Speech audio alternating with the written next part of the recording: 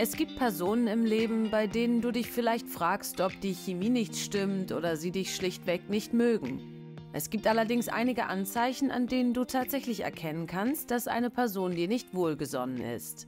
Erstens. Mangelndes Interesse. Menschen, die dich mögen, interessieren sich für dich. Sie stellen dir beispielsweise Fragen, um dich näher kennenzulernen. Zeigt dein Gegenüber kein Interesse, möchte die Person nur so viel über dich wissen, wie sie muss.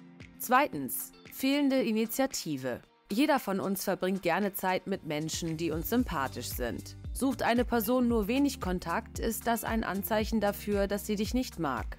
Drittens. Negative Körpersprache. Kein Lächeln, ein ernster Blick oder verschränkte Arme sind ein sehr deutliches Zeichen, dass dein Gegenüber dich nicht mag.